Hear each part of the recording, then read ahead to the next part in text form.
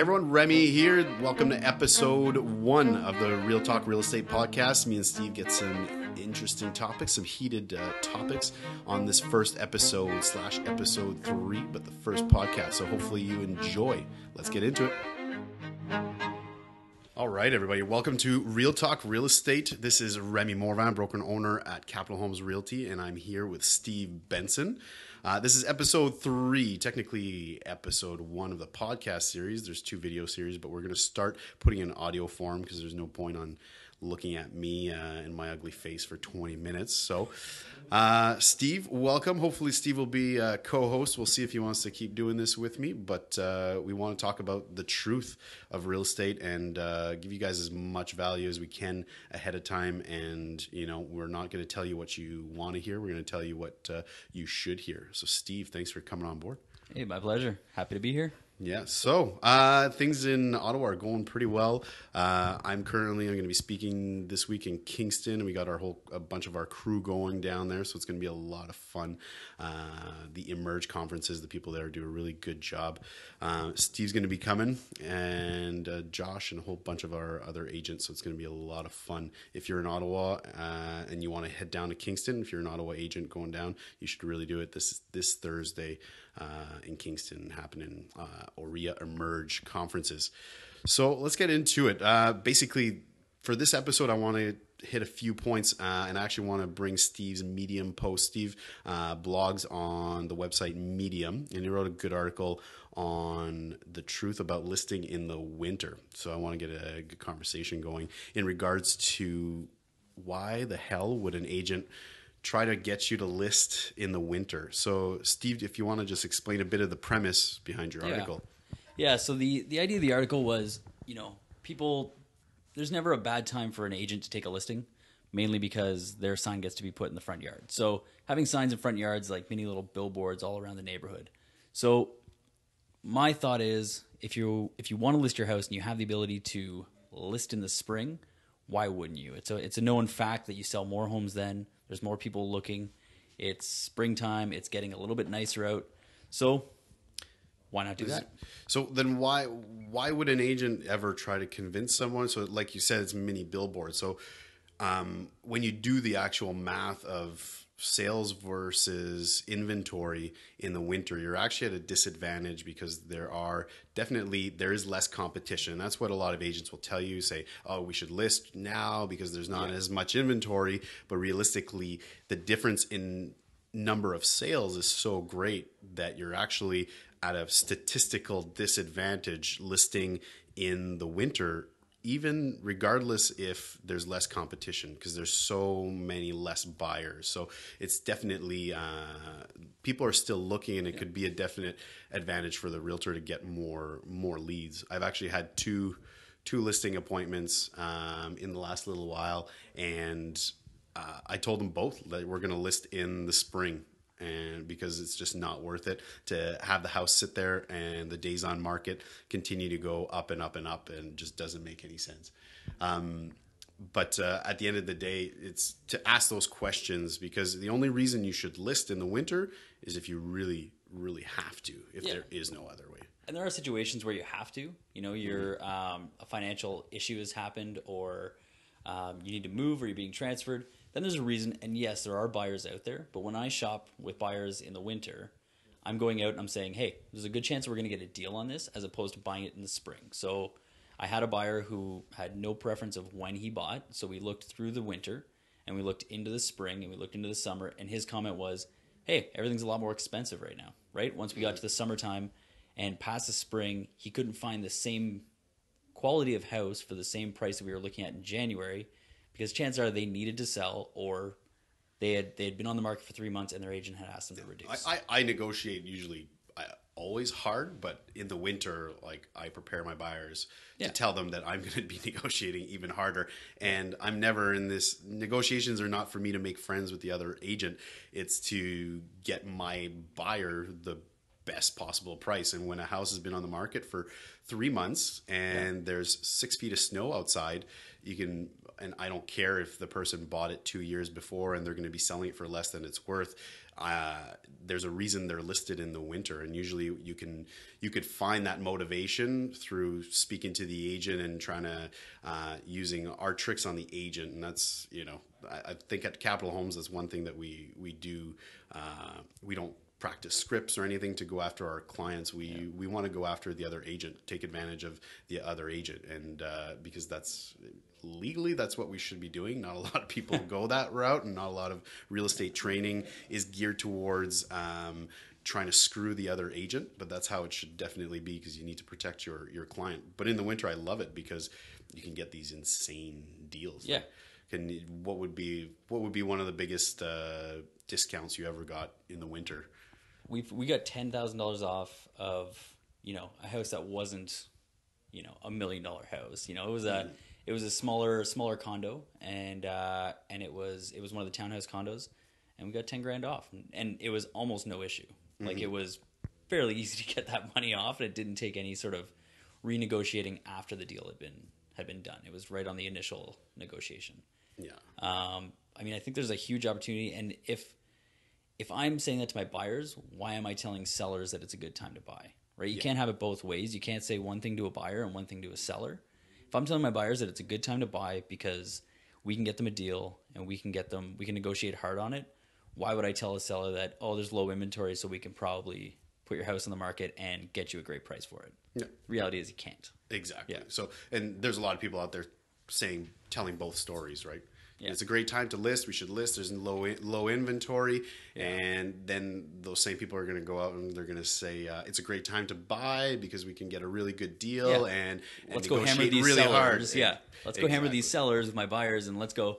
Yeah, we're gonna we're gonna sell it for top dollar, no problem in January. Yeah, complete horseshit. To agents, to agents, and inventory is important, right? Like you need if you don't have any inventory, you don't have any listings out there. That's not not a lot of advertising. But at the end of the yeah. day, if you, I, I listened to a really uh, a really interesting segment on uh, why agents really do this. A lot of people believe that um, agents are greedy, but it's it's actually not necessarily greed, but oftentimes desperation. So, uh, over fifty percent of real estate agents will sell four to five homes a year.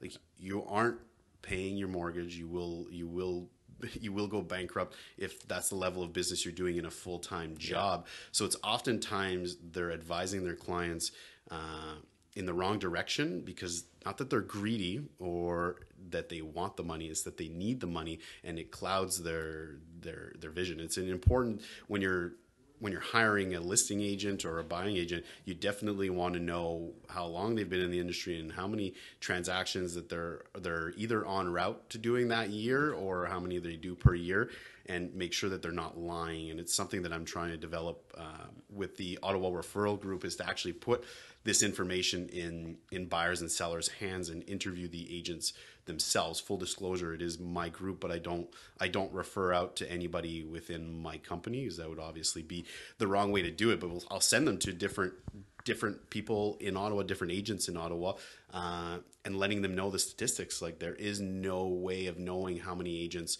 are are how much business people are doing. People are lying through their teeth and so people are getting screwed out of desperation because the agents are desperate to get that sale, right? Exactly. And that's a dangerous spot for, you know, for clients to be in is that, you know, you want to help you want to help somebody that maybe you have a relationship with, maybe it's an acquaintance, somebody that you know. Um, but you're putting a lot of faith in somebody who maybe has only been doing this for a short time and isn't one of the ones that's doing 10 or 15 sales in their first year. And exactly. you just they just don't have or you know, we've all gone through the first year of real we've estate. all been right. New, exactly. So we've all we've all gone through. Yeah, somebody's got to trust you, but you have to make sure they're not coming from a place of of desperation. Yeah. Right. That's when bad decisions get made, and you get pushed into a sale, and you get um, things get twisted a little bit, and legally we can't we can't be doing that, right? We're, we're an advan- at an advantage too, and which is part of the reason of the podcast is to shed light on some of these stories. And I don't want this to be the negative podcast, but definitely shine light on the positive and the the negative things. Because we're privileged that we hear all these horror stories, but I've seen friendships thrown out the window. Um, you know, on one particular case because the buyers went to a new build without their agent and they actually never ended up buying from that new build. But before they even did, the agent lost it on them, and because he, in his mind, he wouldn't get the commission down the road and wouldn't get paid. Well, if if a friendship is is is worth the commission if that's what it's worth to you then it's not really a friendship right like i've, I've sent numerous people if i'm unable to make it that weekend and i'm out of town and someone re- they really want to go i'm not gonna i'm not gonna uh, put myself in the way of them getting that lot that they want or Yeah. you know if I, i'm not available but let's so let's wait for me to get paid. You miss out on this opportunity because it's opening day of the new sales center. If i can't be there i can't be there. It's in your best interest to go get the lot get the home get you know down the road you'll you, you're going to be uh, an advocate for me that i did the right thing for you right? I didn't screw you out of something for a paycheck. Yeah, I think there's just a there's just a a disconnect in the industry from doing what's right for the client and being um, service minded as opposed to being transactional. And I mean, I think it's that way in every industry, right? You're going to have, um, you know, you're going to have somebody that works on commission in a in an electronics store that is only looking for the dollar, Yeah. right? And you're going to have somebody in a restaurant who's trying to upsell everybody on every gravy, every you know extra shot, making it a double, and they're going to be at your table constantly trying to sell you on it without creating an experience. And in real estate, you get the same kind of thing where, um, where you know people need to be taken care of very well, and they should be, and they deserve to be. It's not like it's small amounts of money that we're talking about. And if it's just a matter of getting them in, getting paid, and on to the next one, then it's a pretty hard way to do business. You blame you, I blame a lot of that on the training, right? Like the the training that people are put through, a lot of them are put through training to be transactional. It's it's you're new in real estate, let's get you a sale as quick as possible. How do you do so? You cold call, you do this, Yeah. you use these scripts to get the sale right away and then you become trans you want you're chasing that next sale, you're chasing that next sale. No one wants to wait six months to to farm and take care of people and educate people and wait six months to to make their first sale. So a lot of a lot of the training is to get these people out of the gates, uh, you know, with all, all guns blazing. But at the end of the day, if you're doing it to to close your first deal and it doesn't matter what what the outcome is at the end of the day, um, you know. If it's your first deal and it's going to fall apart on inspection, what do you do? Do you push it through and kind of try to hide the issues that came up, or do you cancel the deal and wait another month and a half for that person to find a house? Like, what's the right way to do it? We all know what the right way is to do it, uh, but what's happening in the marketplace would, uh, you know, would astound most pe- most people in general. So Well, and I mean, I, it's not it's not cheap to run a brokerage, and it's not um, and it's not cheap to run a real estate business, right? Like as an agent. So there are some pressures right at the beginning to doing that, and you can make money being a telemarketer, and you can make money by spamming people, and that's why there's still telemarketers, and that's why there's still spam emails mm-hmm. because you can make money that way. You can get business. Somebody is gonna click on it. Somebody's gonna answer the phone, and you know you're gonna rope them in. You're gonna trick them into mm-hmm. buying from you or using it. there's a huge disconnect and when i when i speak i it's one of my first slides is that real estate agents are businesses but there's a disconnect because they don't they they believe that they're real estate agents and that their job is to sell homes. Their job is not to sell homes. You're running a business. And when you look at statistically businesses it takes two to three years for a business to be profitable. But for some reason the business of being in uh, in real estate you should be making tons of money right off the bat you know 150k 200k Yeah. and it's it's is it possible there is there is one way for that to be possible and that's you know a lot of trickery and scripts and uh, you know cold calling no one likes cold calling no matter how much they say that they it might bring them bring them business but at the end of the day i I've yet to meet someone that loves cold Yeah. calling that can't wait to get up in the morning. Like you should be building your business over time to not have to ever do that stuff. Yeah, and I think it's I think it's ludicrous for people to get into the industry and think that they're going to be uh, financially stable, like right right off the hop. Yeah. You know, the amount of people that come into the business and have zero runway and have no other source of income, like you don't need to have four months, uh, four months of living expenses saved up. Obviously, that's ideal. Probably six. I would say you need- yeah. or twelve. um, just because commissions are typically 60 days away at minimum, right? So if you have that saved up, that's great. If you have a secondary source of income, that's almost better, right? Because you're you still have one foot in the door, and everybody says you shouldn't be a part time agent. But whether you have another job or not, at the beginning you're a part time agent. Yep. And there's a reason that 90% of people drop out after, before three years. That like that isn't uh, that isn't made up. That is uh, 80% of people or 50% of people won't make it to the two year mark, and even less make it to the three year mark. It's because it's hard and going four months without you quit your job and you go four months without getting a commission check um, that's going to put you out of business. And people so by chasing it and chasing it and you get more it goes back to what i was saying you get desperate. You don't it's not that you want that money. Now now it becomes that you Yeah. need that money. And that's when uh, dishonesty and loss of ethics happens because people need it. So it's definitely you know i find me and steve have very similar business models where we've built it where I don't, we don't need it. We we don't need it because we've built a business where uh, you know people just absolutely trust us, and I know that if I have to bail on uh, on a deal because something bad with the inspection, that that client A will stay with me Yeah. forever because they know I'm doing the right thing for them. But I have other clients coming down the road because I haven't spammed them, I haven't cold called them, I haven't tricked them. I've just generated over, you know, going on uh, over five years of just doing the doing the right thing. Yeah, and that's it. I mean, it's it's just getting getting out there. It takes longer. There's no question about it. Mm-hmm. It takes longer to get out there, put out some good content, put out some some stuff that you know shows that you know what you're talking about, but also that you're trustworthy. Yeah. And then there's nothing nothing better than nothing works better than showing people that you're trustworthy, right? Yeah. Like so, you can walk away from three or four deals. That's fine. I don't care. Like I don't I don't get attached to the outcome. I get attached to the relationship that we have. So if you know if four deals don't work because inspection something came up on it, that's cool. I have zero issues. Some Mm-hmm. people get upset. Some people might drive to your house and try and fight you. But That is a true story. yeah, it's a true story. Not with Um, us, not with us. not with us. Um, but sometimes you know, like these these things happen when you need the money. You need the money, and I, and I and I understand that it can be it can be stressful putting every purchase on a credit card for three months. Yep. Like, you know, it's it's stressful to do that, or having a, a credit line that's maxed completely out. I've talked to guys that that have done this, but keep something, keep something that works with your real estate business, and just be effective at your job. Like you can you can pretty easily do a second income as long as you have some systems in place and you have a support team that works. The, so. the when you look at solo, I'll take team take teams out of the out of the picture. Teams aside, because teams do generate a lot of cold calls and a lot of business it's driven in a different way.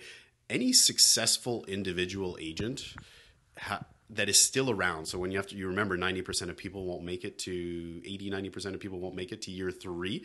The ones that did are not after after three four years they're not they're not doing that stuff. They've built the successful ones have built it over time and have a referral generated business that you know is self-sustaining as long as they don't you can ruin your reputation pretty quick too. So it's something that you have to keep uh, doing over time but it's because you've done it the right way. Like people it. always get I, I love the phone calls where it's like come on remi like let's let's get this done no Yeah. i'm not here to sell your listing. I'm Yeah. here to i'm here to do what's right for my buyer. And it's actually some i love the trans those transactions. When you hear them say that you know you're going to get even a better deal for your client because you know that they're just going to do whatever it takes to sell that listing. Like come Yeah. on look come on we're working on the same team. No no we're not. We're not Yeah. working on the same team. Do we want to both get this house sold or get you know do, do we both have the same outcome in mind? You want to get this house sold i Mm-hmm. want to get my clients a great house but i'm not willing to do that at the expense of my clients Exactly. right? so yeah we have the same goals. We we both want to sell a house. That's i mean at the end of the day that's our job but my main goal is to keep them happy yeah right? Keep the client the client happy yeah. Yeah exactly. Not the other agent but um so which brings me sometimes doing the the brings us into the next next thing that I wanted to talk about is the number of times when you're talking about selling a place and doing anything at the expense you just want to get it sold and a lot of people will oftentimes not they get an offer and they're going to they know that they're going to work it and they're they don't so many agents. This just happened to Steve this week um, or yesterday, I think. That the agent Steve shows a house one day and then the next day it goes conditionally sold. So the offer was in place and they didn't contact and Steve's client would have come in and did a put in a second offer. Your job is to create multiple offers, but, but a lot of people don't want either they're lazy, they don't want to actually call every agent that's seen the place because they're happy enough. My happy my client's happy because we have an offer, but what if you can get two, three, four offers, right? It just yeah. doesn't make any sense. Like if you elaborate on your story that just literally happened, I think yesterday was. Yeah, it was. You know, it was. Uh, we went to see a place. Um, the client was was getting their finances in order, so we waited an extra day, and in the morning I got an email saying, "Hey, it looks like it's been conditionally sold," um, because that's. But you showed that place. Right, showed it the day before or yeah. the night before. So she never let you, or he never let you know yeah. that there's an offer on the table. Exactly. There was no, there's no mention of it, not not before the showing, or or during the showing, or after the showing. So, um, now there there is another another piece to this too, because I've talked to a couple of different agents who believe that it's unethical in some way to try and rustle up another offer, and I don't. I mean, I don't, and I don't know the specifics of my of my experience the other day Mm-hmm. I mean, maybe it was in their court, and you well, know, it happened. This they should have let lot. me know either way because maybe we wouldn't have gone to see it. If they said, you know what, it's almost a done deal. If they accept it, we're done. We yeah. probably still would have gone to see it, but we would have known. I could have set them up to say, we're probably not getting it, but it's it's worth taking a look at. It's a vacant yeah. property. Well, it happens but, a lot too. You see it yeah. on the Facebook page for the the realtors have like a closed group, and it's one of the most common complaints yeah. of people not being notified that an offer has been received. And I don't I don't understand the mentality of not rustling up another offer. You're you have a you have a legal duty to your client to get them the best possible price. And, yeah. and one of the only ways to get the best possible price and offer. And sometimes the price is in everything. So sometimes you can have a really crappy offer with a great price. Yeah. Um, that can actually wor- work against your seller. But your job is to rustle up multiple offers. Because that's the only way you're going to get an offer that has the best price with the least amount of conditions. With the, it's the only way you're going to get the best possible offer is when you've got multiple to choose from. Yep. When you only have one offer, you're you're you're really you're stuck not necessarily accepting those terms, but you're only negotiating against those those one terms. Much less leverage, right? So, but yeah, when I've talked to other agents about it, I'm like, we talk about the 24 hour um, irrevocable. So you have 24 hours to respond to an offer, right? Yeah. That's in a lot of listings, and it says you know that's one of our listing conditions and whatever else as far as I can tell, it goes in for a couple of different reasons. It goes in because they want more time. Mm-hmm. Maybe they're very busy and they want more time. They they and then or they want it to because um, the client's out of town or not available all the time, which is fair. Or it's so that they can get another offer, mm-hmm. right? So as a buyer rep, I try to put it as low as possible, right? Mm-hmm. I try to give as little time as possible because I don't want a second offer coming in. Exactly. As as a listing agent, I'll put that in because I want to make sure that I can get I have I have some time to rustle it up. And I've, I've mentioned this to a couple other agents. They're like, wow, that's kind of, you know, that that doesn't seem right. I'm like, are you kidding me? Like, why wouldn't you be working? It's your job to get more. If I've had, if I've listed a property on Saturday and I had eight showings on Sunday, yeah, and Sunday morning, or I have eight showings booked Sunday morning, and someone comes in Sunday morning and gives me an offer and he says, "I really, really want it. I'm only giving you till noon." Well, no, I've got I've got eight other showings this afternoon. It's a hot list. I'm not exactly. selling it to the first guy because maybe maybe I priced it at three ninety nine because it's actually worth four twenty. And yeah. you know this has worked in a lot of situations where you price the home so well that it will sell for market value. Will sell over asking because it's it's going to sell. The market will will dictate what the house is going to sell for yeah. in a way. But you're doing it. I'm not letting you muscle your offer in in the morning when I'm asking for 24 hours because maybe I do have in the next 24 hours I've got three other showings yeah. I do want to rustle up. I don't what would be interesting and part of the podcast we are going to be bringing uh, some some business owners around town but also I want to bring in uh, more agents. And yeah. I'd love to get if we can find an agent in Ottawa that would be willing to come and talk uh, about this specific that believes in in not having not rustling up uh, more offers. We'd yeah. love to have you over and have exactly. That's what the this podcast is going to be about is to shed the light on all the different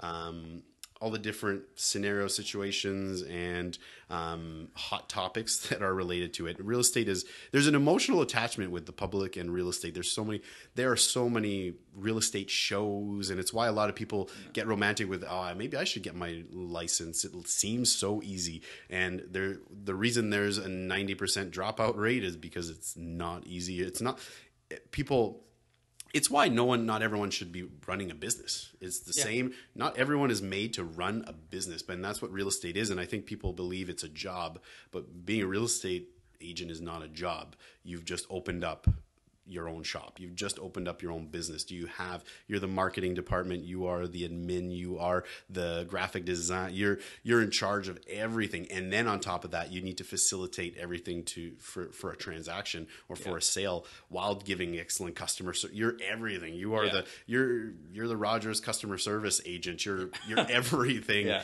that encompasses a business and people just don't tend to to understand that. So we want to bring in other agents. We want to challenge the status quo and uh, shed some light on the serious issues of real estate. So i'd love to what we'll do is we will end it on that with this topic of um, 24 hours irrevocable on offers and trying to rustle up another um, another offer. And we will bring that topic back at a later podcast uh, once we can find someone that wants to uh, discuss that topic. Uh, so, Steve, thank you so much, guys. If you like it, please leave a comment. If you hated it, if you're pissed off at us, leave us a comment. Uh, we will gladly respond to your comment and maybe even uh, discuss it on the next podcast. So, until next week, guys, I appreciate it. And uh, this is Real Talk Real Estate. We're going to be um, uncovering the truth about a lot of stuff that's going on, not just in Ottawa, but across the real estate industry. So, thank you guys so much for listening to the first podcast, uh, episode three. The other two video ones, one on investing. Um, the first episode was on uh, investing in uh, investment properties, and uh, this is the first podcast. So, hope you hopefully you enjoyed it, and we'll see you guys next week. Thanks, Steve. See you later.